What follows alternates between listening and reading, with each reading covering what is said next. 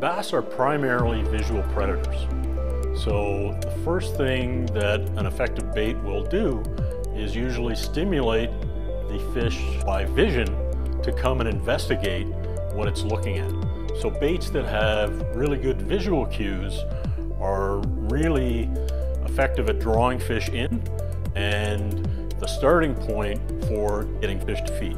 So the challenge we were given was to take a line of baits that already had really good visual cues and try and develop a scent that would add a positive stimulus for smell and taste for bass within these baits.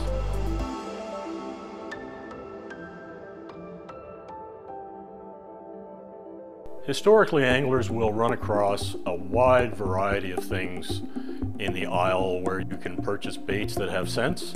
Many of these are actually things that might appeal to humans and their sense of smell or taste, whereas what appeals to a fish are actually compounds that the fish would normally be looking for when it's trying to feed.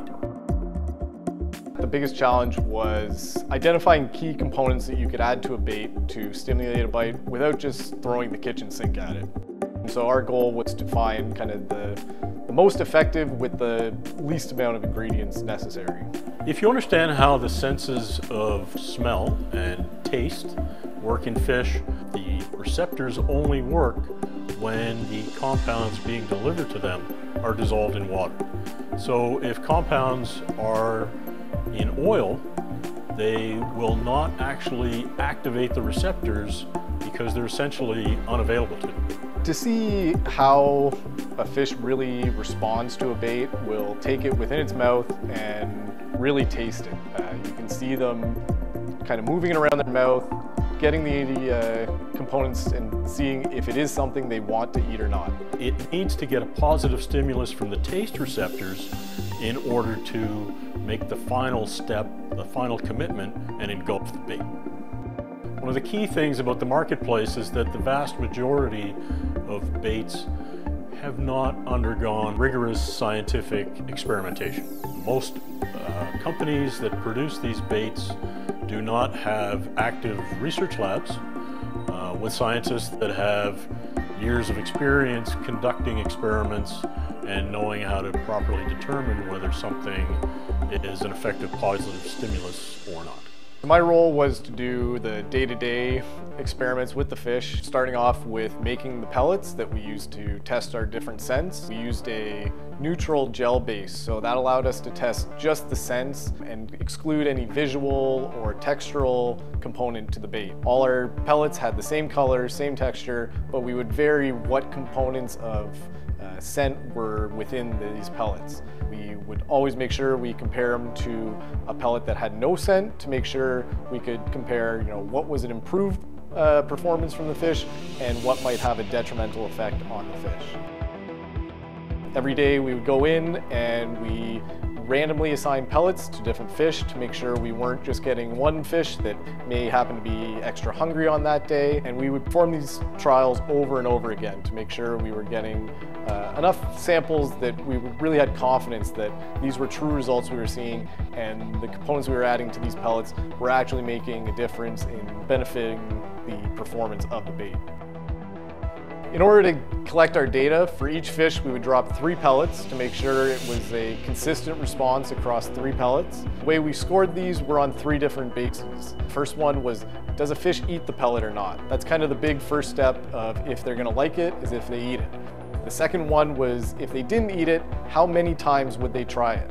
There were some fish, they would come up to it, smell it, and decide they didn't like it right off the bat while there were other fish that would take that pellet in their mouth, try it multiple times, taking it in, spitting it out, taking it in, spitting it out repeatedly.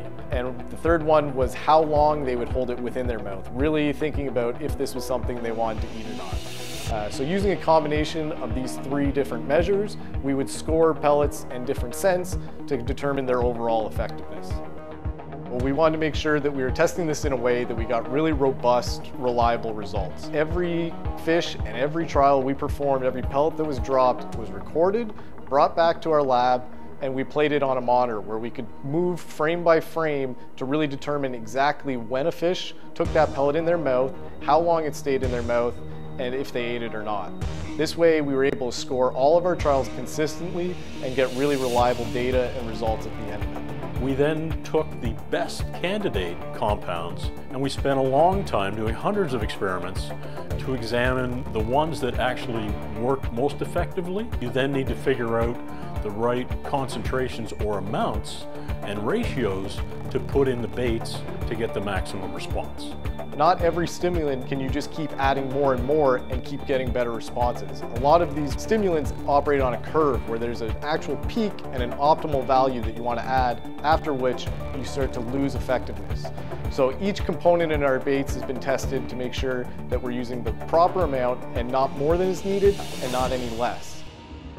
What has happened in the marketplace is that there are baits that have scents that are essentially unavailable to the fish because they're in oil-based delivery vehicles. There are also scents that are in baits that don't have a lot of good action when we developed our original scent, we used a water-based gel to deliver the scent to the fish where it was really the most effective and the fish could access it most easily. The second challenge we had was to then be able to apply that to you know, traditional proven materials that are used in the fishing industry um, and to get the same type of response we saw in our gel. So we worked with our final recipe and we tested different concentrations in these proven materials to see where again that optimal value was before it was too much and actually became overstimulating for the fish. The approach that we took was to examine a vast area of the scientific literature to look for potential compounds that stimulate feeding in different species of fish. And so we developed a uh, series of potential compounds to do experiments with, and then we spent a lot of time running experiments with the fish, letting the fish tell us what they like best, and eventually coming up with the product that is BaitFuel. That was the big thing we were trying to find was something that wasn't just as good as uh, a regular bait, it actually improved the performance. As an angler, I'm really excited that we're now able to kind of get that one-two punch, combining both the proven visual effectiveness of traditional baits with a scientifically proven scent that's going to make fish want to bite more and hold on longer.